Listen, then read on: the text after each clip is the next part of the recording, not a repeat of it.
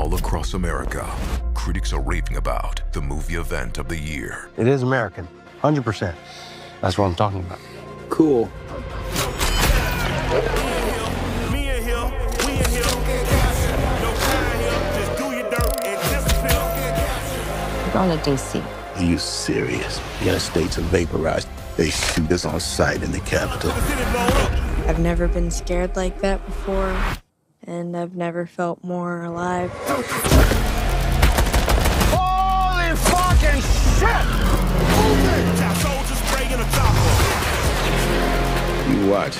Soon as DC falls, they'll turn on each other. Whatever happens, we don't quit. Oh my god. You don't want to miss this. God bless America. Civil War. Rated R. Get tickets now.